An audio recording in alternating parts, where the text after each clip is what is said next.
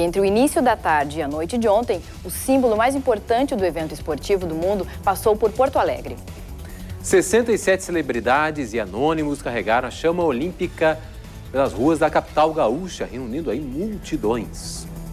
Cidadãos comuns, personalidades, atletas e ex-atletas viveram a experiência de conduzir a tocha diante de milhares de pessoas. O trajeto iniciou com o ex-jogador e atual técnico do Grêmio, Roger Machado, no Parque Moinhos de Vento.